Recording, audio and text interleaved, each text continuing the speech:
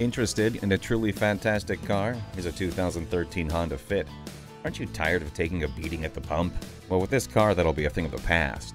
Plus, it has a CD player, air conditioning, and a rear window wiper. Come take it for a test drive.